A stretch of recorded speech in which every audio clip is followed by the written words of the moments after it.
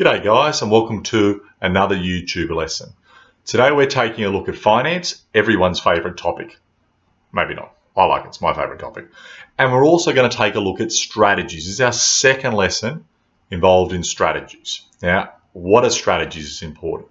This is the things that a business can put in place to improve the financial performance of a business. And we can evaluate whether it's been done well, and often you'll need to. How do we evaluate it?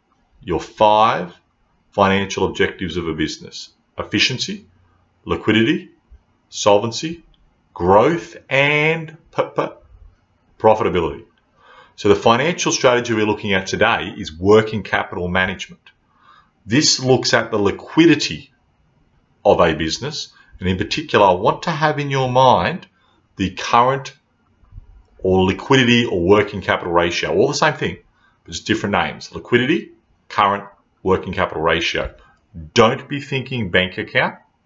Be thinking instead balance sheet and be thinking current assets divided by current liabilities. So current assets, we want more. Current liabilities, we want little less. That's that current ratio, and that's in essence working capital. So a little quiz for you again. Cash flow, looks at liquidity too, but not the ratio. It looks at your bank account and cash flow statements, money coming in, money going out of your account. Working capital management looks at the liquidity ratio, your current assets compared to your current liabilities. More current assets, less current liabilities. Now, working capital management is a strategy because it's something that the finance business function can do to help improve the finances as I mentioned, the liquidity of a business. I want to hear about profitability and other crap and things. I want to hear about liquidity. That's the objective this thing does. Profitability can do profitability and efficiency. This working capital looks at liquidity. Cash flow doesn't look at solvency. Cash flow looks at liquidity. All right, they don't have to look at everything.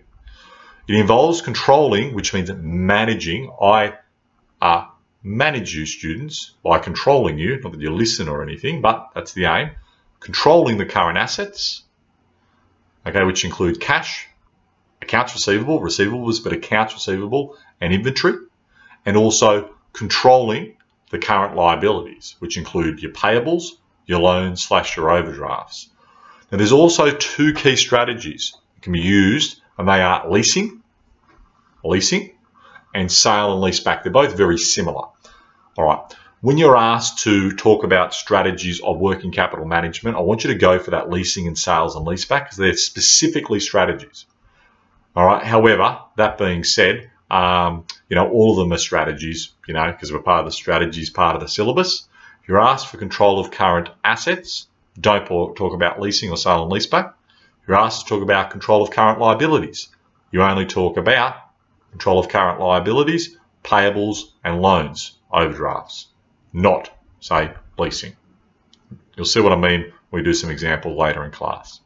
Now, working capital management is the difference between the current assets and the current liabilities and can be expressed as an equation. So this is working capital, not the working capital ratio. Working capital is your current assets minus your current liabilities. You want on your balance sheet more current assets than you do current liabilities, and you just minus it. If it's positive, sweet as, mate. You're sorted in terms of having some liquidity and having working capital.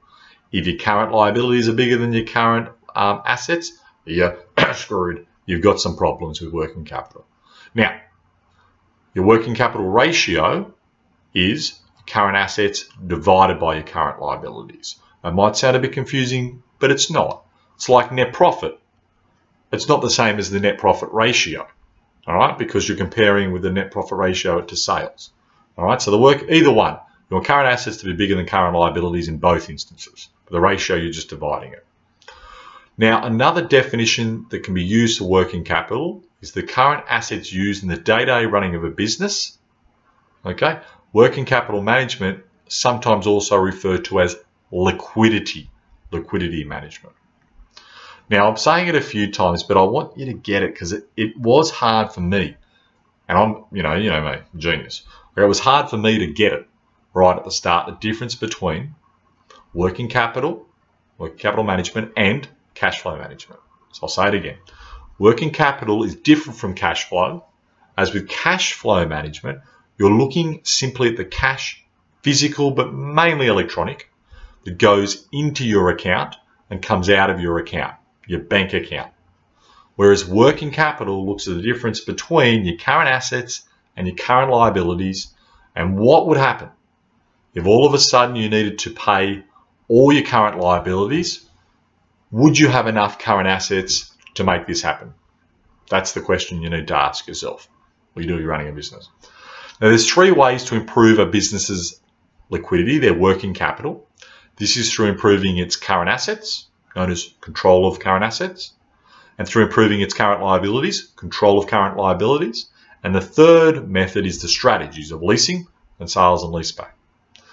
I've already mentioned before, if you're asked specifically about control of current assets, you talk about cash, receivables, and inventories and strategies I'm going to give you in a sec from the textbook.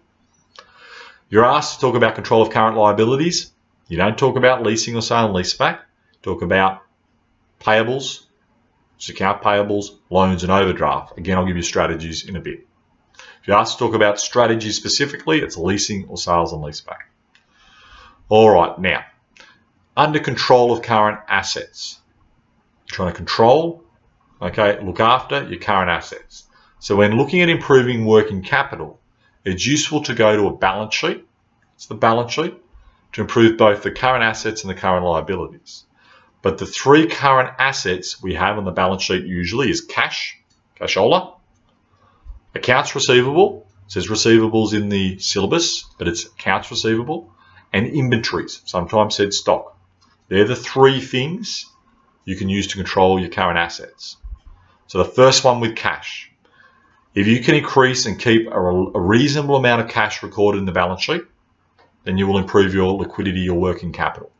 Cash is king. How can you do that? What strategy can you use to improve the amount of cash you have on that balance sheet? Visualize your balance sheet on the left hand side. I think that's your left okay, depending on the camera. Don't know how that works. You've got cash up the top and your current asset. We want that to be higher. How can you do that? What your old mum say or your old pop or whatever, how do you save money? Now a budget. Budgeting. That's the tool you use and a strategy to be able to increase your cash, your cashola. All right. Receivables, accounts receivable. How can we increase that? If you can reduce your accounts receivable turnover ratio and get your clients to pay their accounts payable, this will improve liquidity as it's going to turn that um, potential cash into cash. All right. So, so let me give you an example here. When you're actually doing the ratio of current assets compared to current liabilities, using uh, factoring, and that's the tool that you can use here for receivables, it may not make that figure any bigger because you're basically, if you look on that left-hand side, and you've got a thousand bucks in cash and a thousand dollars in accounts receivable. If you have your um, your clients pay their accounts receivable, that thousand dollars, it becomes zero, and your cash becomes one thousand that you had already plus another thousand, it's two thousand. That ratio is not going to change, it's not going to get better. So how is this a, a good strategy? What are you talking about, sir? How does this work? Accounts receivable don't always get paid. Sometimes businesses don't pay or pay very late. Cash is king. Cash is king. If you can move the money from the accounts receivable into cash, then you are in a more liquid position. Okay? In, in, in theory, your working capital is better because cash is better than potential. Maybe I might get a cash because it may not come. Sometimes bastards don't pay and then you don't get those things. All right, inventories is the last control of current assets. You've heard of a thing I would assume before called JIT, just-in-time inventory management. If you use this, then it would free up cash and therefore again, you, the side on the left, which is your current assets, having cash, accounts receivable and inventory, it's not going to make that number bigger in terms of your current ratio, but and, and I'll show you in class, you know, on the board to be able to give you examples of this. won't make a bigger but? What's the rule? What's king? Inventory? Receivables? It's potential cash. Cash is cash. Cash is the money you've got there. It's the most liquid of assets. So with inventories, if I have a, an official term, I have a computer shop. I've got a crap load of computers. It's very, very technical. Crap load. If I don't sell them all, I only sell half of them and they become obsolete. They're too old. They're like me. They're old, decrepit. You never sell them. I have to write those off. It's potential cash. I may not make those sales. So if you can have just enough computers or just enough apples or just enough, uh, enough whatever, lipsticks, okay, so that your customers just get what they need, you can have the rest in cash and therefore that's guaranteed. It makes your business more liquid. You have better working capital. All right, that's the first strategies part of your will, control of current assets. And I, I apologize, I talk too much, I know. This one is a pretty big uh, lesson today. Control of current liabilities. There's two parts to the current liability side of the balance sheet. They are loans, including overdraft, and accounts payable. You can reduce either of these, a business can obviously improve its liquidity, its working capital. Okay, that's less the current assets compared to current liabilities. If current assets are the same, say two, and that was two, two to two, you can make that one, it's now two to one, it's a better ratio. So how do we do this? Well, the first thing is payables. Payables, if you didn't know, stands for accounts payable. That's, I'm Bunnings, that's what the carpenter must pay to me, or the plumber must pay to me. All right? How do we get this to happen? There are four ways to control the accounts payable. The method a business would use, actually, let me flip this around a little bit. Um, I'll say in this instance, I'm I'm the carpenter and I've got to pay Bunnings. We're doing it from I'm the carpenter business because it's my accounts payable. So I'm the carpenter. How could I reduce this amount there? okay, to be able to make that smaller so my current ratio is bigger mathematically and in, in real terms. All right, now the method I use depends on the particular situation I'm in, but the first thing I could do to reduce my accounts payable is I could pay my accounts payable at the very last date they are due. This would free up cash and improve liquidity, working capital. Again, cash is king. If I wait until the last minute to pay my accounts payable without any bill, any, any fees, because it's the very last day, not after, then it leaves more cash in my business for longer. If I use that cash to pay it early, then yeah, that's that's lower, sure, the um, accounts payable, but that cash is now gone too. Less cash, less liquid. Secondly, make sure you make all payments on time to avoid late fees. Now you might be saying, well, how does this make sense? Pay at the last date it's due and then make sure it's paid on time so you don't have to pay any fees. Yeah, pay it at the very last day. Not earlier, not later. Because if you pay it later, then you get another 10% fee. I don't know, $100, whatever. That makes that accounts payable larger because they're going to chuck a fee on there or fees it if you take too long. And therefore your ratio between your current assets and your current liabilities, the liabilities will be bigger. Not good. Thirdly, potentially pay the accounts early if the supplying. Whoa, again, what early? Sir, you're having too much to. I won't say anything because it's YouTube. But why'd you pay it early? You pay it early potentially. They're offering discounts for early payment. You've heard that before. It makes sense. If they're going to give me a discount for paying early, then that accounts payable is now smaller. Sure, I'm using cash to do that, so I have to weigh it up, but it would make the actual amount smaller. True. Fourthly, lastly, you can take advantage of business trade credit. In this example, you might get three months to pay your payables. It's very similar to really the, the first one. You just wait until that last date to make that payment. You you take it. It's like people with credit cards. You know, they're never good at it, but if they are, you get 50 days free um, credit on a credit card. Okay, you pay it on the 50th day. Problem is, no one does. No one does. I don't even, and I'm frigging tight something, tight bum. Okay, you you pay it too late and then you get all these stupid fees. But something to think about. Now, loans, here's the next way to control your current liabilities. A business will have many short-term loans, such as business loans or personal loans. This is a strategy. A business can improve its liquidity by sourcing finding the best loan with the lowest fees and the cheapest interest rates. If they do this, okay, then the loan section of the current liability will not necessarily fall over time, but become less. Well, it will, it will fall over time because you're getting a cheaper interest rate. Thus, it'll improve liquidity because your current liability is lower. If they have a higher one, because they haven't shopped around, then they'll be paying more interest, take longer to pay down that loan, and your, your current, it's a short-term loan still, but your current liability will be higher, and it's bad for your uh, working capital ratio, for your liquidity. Now, overdrafts. Very similar to the strategy above. If all businesses can have all accounts receivable paid instantaneously into their overdraft accounts, then they can minimize interest on these accounts. This is because the interest earned from having a savings account for the cash of the business uh, is less than the interest needed to be paid in the business in the overdraft account. So you earn more money, well, you earn money having your cash in your bank account, in your savings account, but you know, you probably know you've got a savings account. The interest is so small these days. Like I have $10,000 in my account, like, whoa, rich mixer.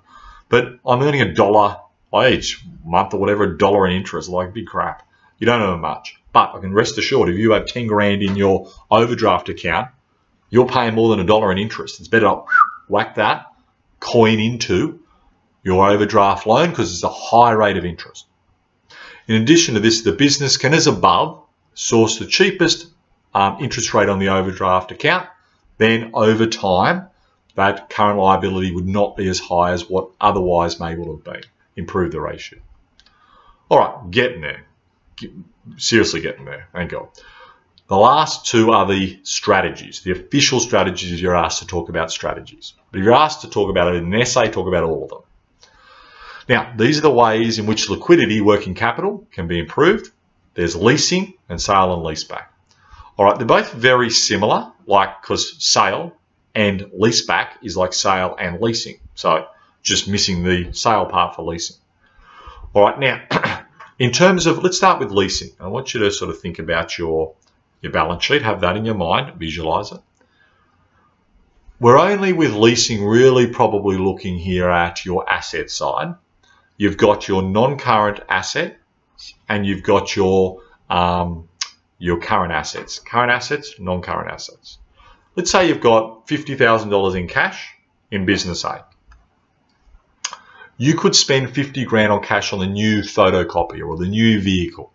That leaves you with zero cash, right? And um, you would have a $50,000 asset in your non-current assets down the bottom in terms of the photocopier or the car. So the, the balance sheet still balances. Your assets are still equal to what they were before. You've just moved 50,000 from the current assets to the non-current assets. Doing that though is not good for, you guessed it, liquidity management and for your current slash working capital ratio because think of that ratio. Your working capital ratio is your current assets compared to current liabilities. You had $50,000 prior to buying this photocopier. Now it's really bad. It's almost, you know, non-existent. What could you do instead? And this strategy is only if you had to get a non-current asset. If you don't need it, then don't do it. You could lease it. If you're leasing it, you don't lose that 50 grand. All right, it might come out in terms of your cash flow statement stuff, but we're looking at a balance sheet and working capital management. Does that make sense? It's not it's not a strategy to improve things, but it's a strategy with leasing to make it not worse. All right, you look at the option whereby you must get this new photocopier why don't we lease it instead? Therefore, we don't have to move the $50,000 in the current asset to make it zero down to the $50,000 new photocopier we have as a non-current asset. Now, if you don't get that, come and see me. It is a bit tricky.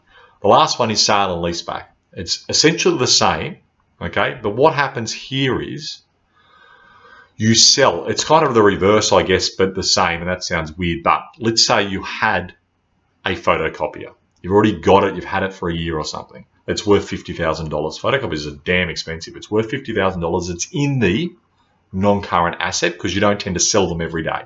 You have it there for 10 years, you get a new one. So a non-current asset, $50,000. Remember with our current ratio, our working capital ratio, our liquidity ratio, all the same, we don't care about non-current liabilities or assets. We only give a crap about current assets. So we want to move this non-current asset, the photocopier, it's worth 50,000 from that to current asset, we want to turn into cash. We can do it easy. We sell that photocopier. Thanks, sir. Thanks, man. $50,000. You take my crappy photocopier. And it's now 50 grand that's in our balance sheet in cash bank account and also balance sheet. Up in both as cash. You're selling your non-current asset and you get cash. And you now lease it instead. You lease one instead. That's why lots of businesses lease it because it's a good liquidity slash working capital strategy. Don't worry about profitability and all the other crap. We're talking about just liquidity. And you think about now your current asset compared to your current liability, you've now got an extra 50 grand there in cash. All right, again, if you're getting that, well done, because it's a hard concept. If not, come see me. See you later, guys.